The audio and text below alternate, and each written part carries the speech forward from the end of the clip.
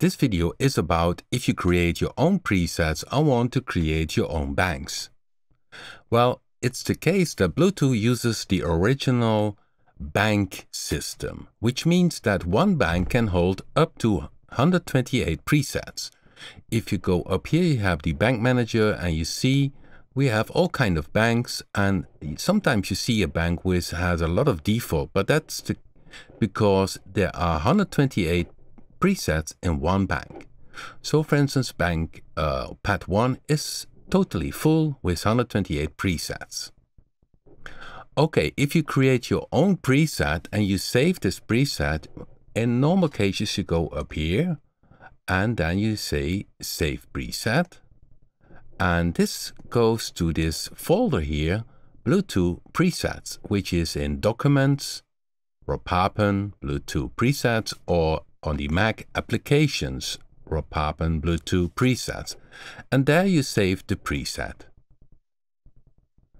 Of course, then you still don't have this preset in a bank.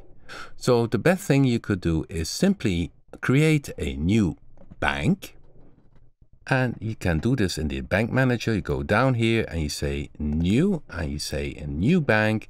For instance, 00, my presets. Okay.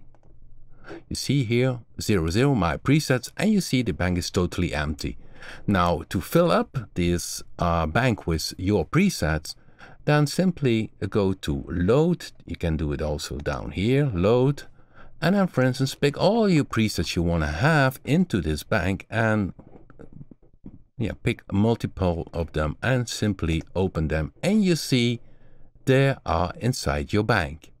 And of course, don't forget to save this bank. So once you loaded it into the bank, you need to save it because otherwise it's gone. So here I click on save and this is then save bank. And of course, Okay, let's scroll down a bit more. You see my presets, save.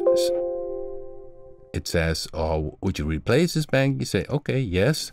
So then all the presets are now in this folder. So when I go to another folder and then back to this folder, you see all the presets are there. So this is how Blue2 works.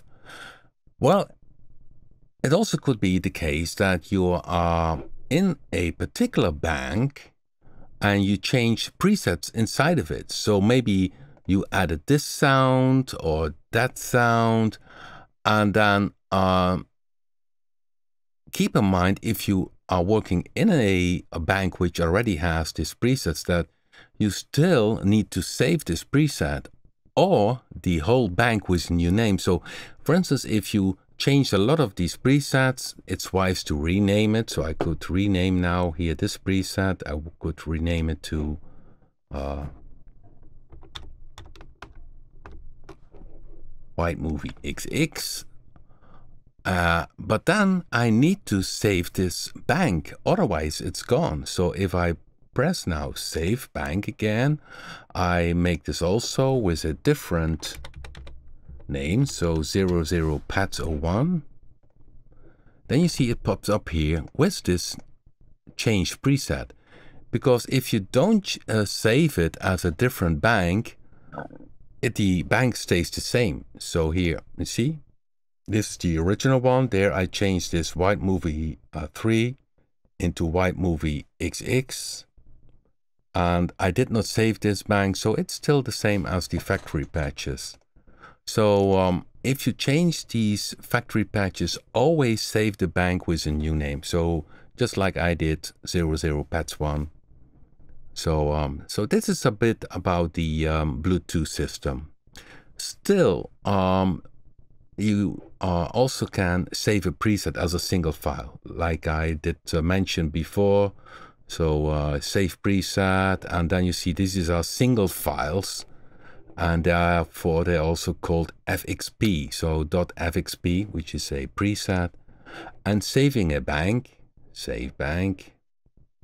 It's very down here, save bank. You see, it's FXB, and a bank always holds 128 presets.